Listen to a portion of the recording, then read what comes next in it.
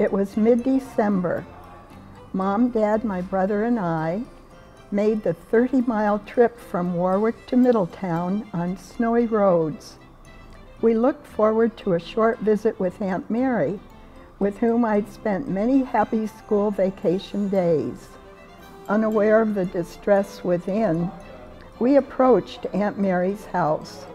Home from work, Uncle Bill answered the doorbell.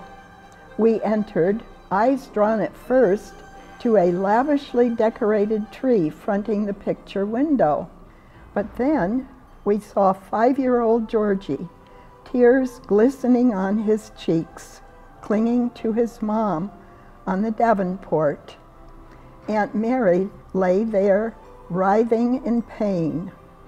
Uncle Bill prepared to drive to Horton Hospital, Aunt Jenny to stay with Georgie. Upset, we returned home.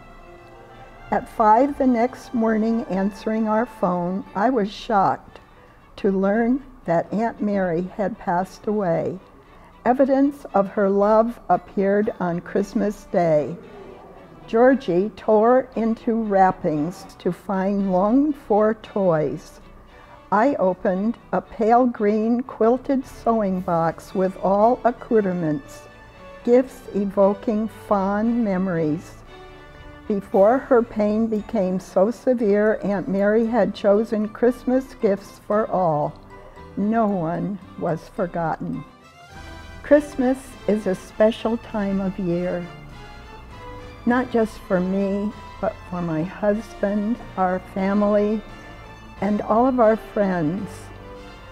And we wish for everyone happiness and joy in our and your lives at this time of year.